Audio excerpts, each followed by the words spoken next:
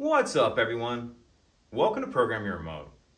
Today we're going to take a look at how to add a code that'll work on the keypad that's on the outside of your driver's door on a Lincoln MKX.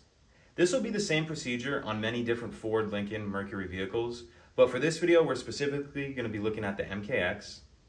So the first thing we're going to need is the permanent factory code for the vehicle, and that comes from the factory in your owner's manual on a little card like this, and it'll show that five digit code.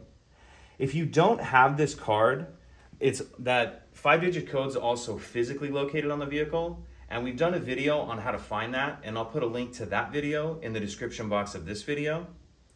But once you have your permanent five digit code, what we're gonna do is enter that code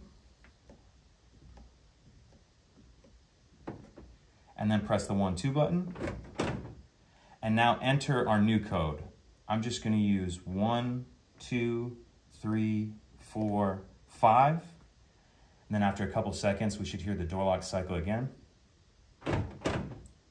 And now the code should be entered. So let's go ahead and test it out. Vehicle's open. To lock, to lock your vehicle at any point, you don't need to enter the code. You just hold down the 7890 button, or you don't need to hold it down, just press it rather.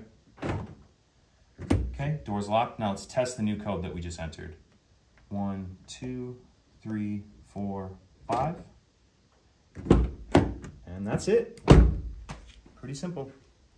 If you have any questions, please let me know. If you could take a second to like and subscribe, it helps us out, and I'd appreciate it. Thank you.